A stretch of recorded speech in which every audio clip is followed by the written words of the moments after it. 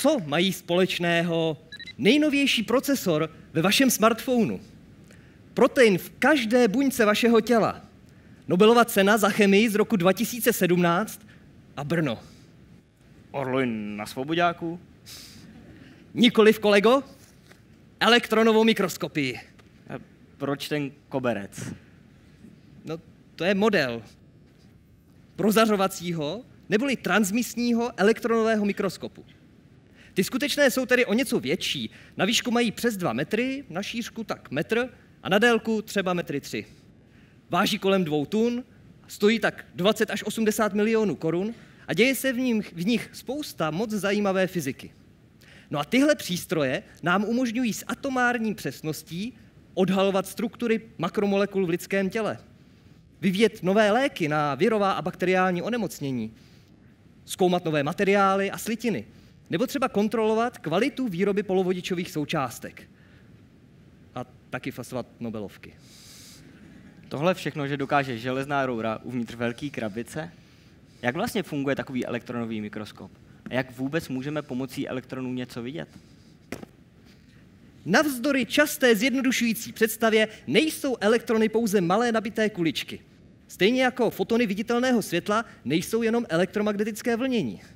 Oba tyto objekty spadají do kvantového světa a jako takové mají vlastnosti jak částic, tak vlnění. A k jejich přesnému popisu bychom potřebovali rovnice kvantové mechaniky. Ale tím se tady do detailu nebudeme zabývat. A spokojíme se s jednoduchou představou lokalizované, hustotně pravděpodobnostní vlny, která... Ne. A spokojíme se s trapnou představou malé nabité kuličky. Vězte však, že tahle kulička je tím menší, čím rychleji se pohybuje.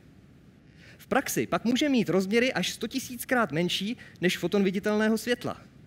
To elektronům umožňuje s vysokou přesností osahat zkoumaný vzorek a dosahovat tak rozlišení, která jsou řádově vyšší než mikroskopy světelné. Nejprve však musíme nějakým způsobem dostat elektrony z materiálu.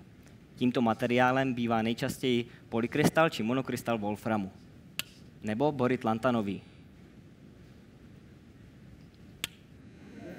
K extrakci elektronů lze využít principu termoemise, kdy jim pomocí tepla dodáme dostatek energie na to, aby z materiálu vyskočili sami. Druhou možností je využít principu autoemise, kdy silným elektrickým polem snížíme výstupní práci elektronů a ty pak za pomocí kvantového tunelování vytrháváme z materiálu přímo.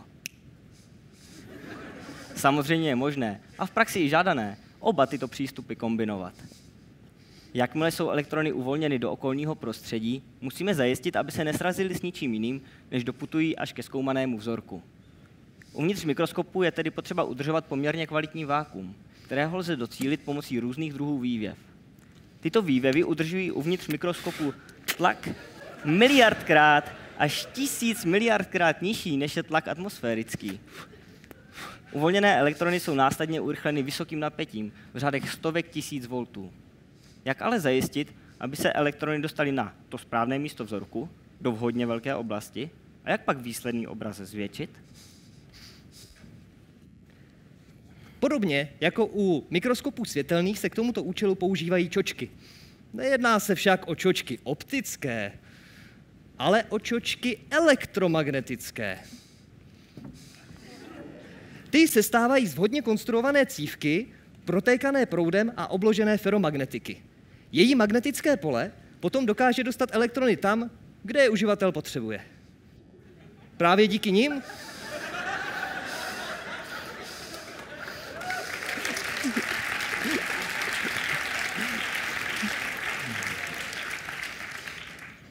šibale. Právě díky těmto cívkám můžeme svazek zvětšovat, zmenšovat, naklánět i tvarovat. Když už dokážeme svazek tímhle způsobem ovládat, nezbývá nic jiného, než mu postavit do cesty zkoumaný vzorek. Ale jak potom taková interakce probíhá? V první řadě musí být vzorek velice tenký.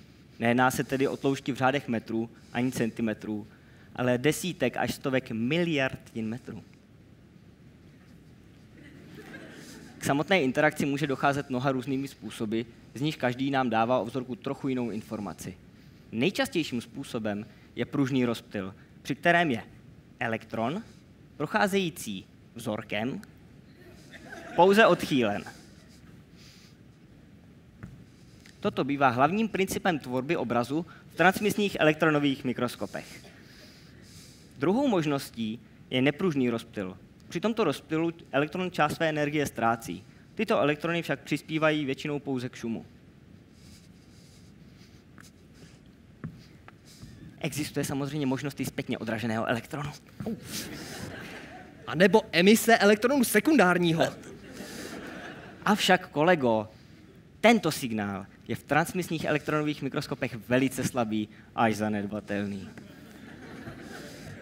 Signál, který však není zanedbatelný, je elektronem vyvolaná tvorba rentgenového záření, které se dělí na charakteristické,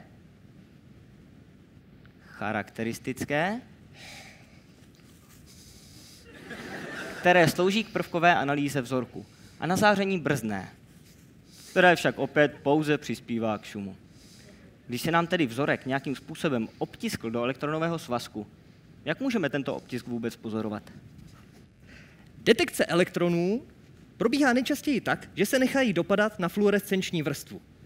Tam každý elektron vyvolá záblesk viditelného světla.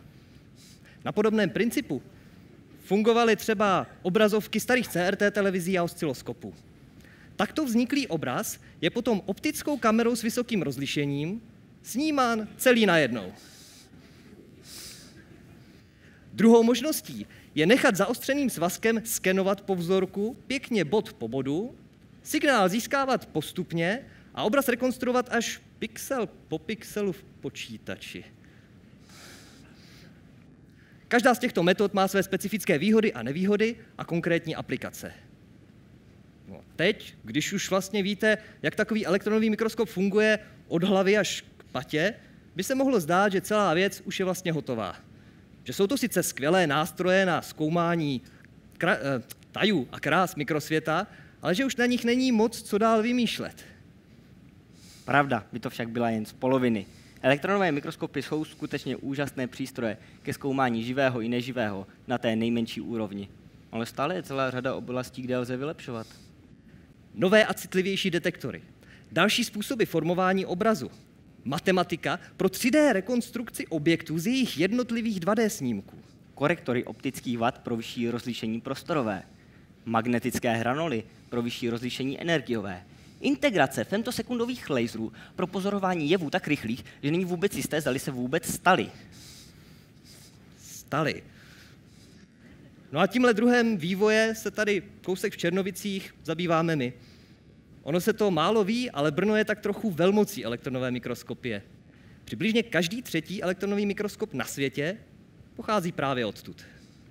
Pokud se vám naše povídání líbilo a chtěli byste se na výrobu nebo ovládání takového přístroje přijít podívat, stačí napsat jednomu z nás a můžeme se domluvit na exkurzi. To je od nás vše. Děkujeme za pozornost.